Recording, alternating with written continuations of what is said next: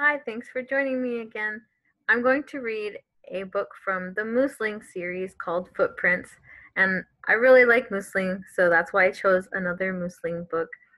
Um, this one, in this story, Moosling is having trouble figuring something out until he finally asks for help. So we're going to see it's not always a bad thing to ask a question or ask for help when you're having trouble doing something on your own.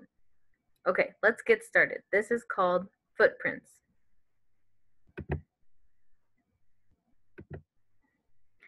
Moosling saw something in the mud. What is that? asked Moosling. Those are footprints, said Beaver. Our feet make footprints when we walk.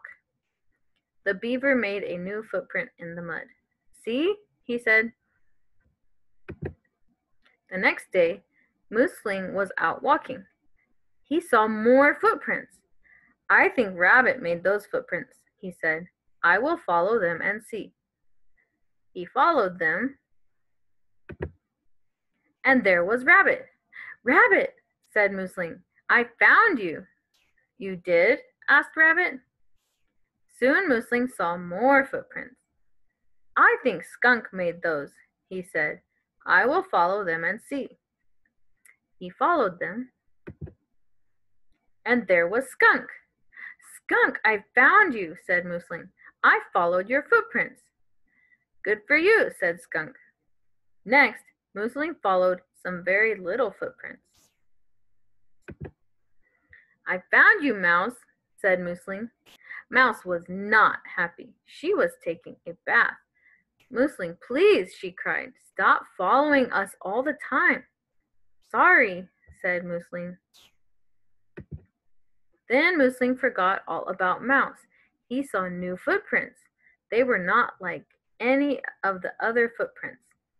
He followed them up and down, and this way and that way, but he couldn't find the animal who had made them.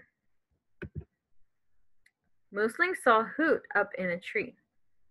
Hoot, you are wise, said Moosling. Who made these footprints? Go look in the pond and you will see, said Hoot. Moosling ran to the pond and looked in. Oh,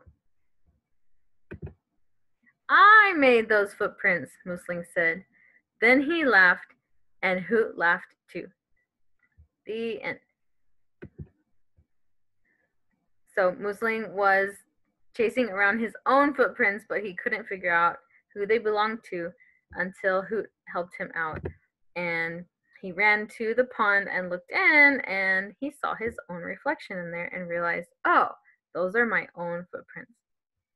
Okay, I have a question for you. Remember, you can write the answer down or you can record yourself saying the answer. Either way, um, but I would love to hear your answer. Okay, here is my question. It's okay to ask questions when we are having trouble figuring something out. We see an example of this in the story. Okay, so your answer is going to have two parts. First, describe the thing that Moosling was having trouble figuring out. Next, explain how Hoot helped Moosling find the answer.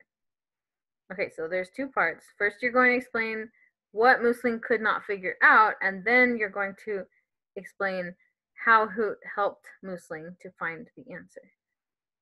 Okay, I hope you enjoyed that story. It's a kind of silly one, um, but I really like Moosling. I think he's a great little moose. Thanks for joining me, and I will see you next time. Bye.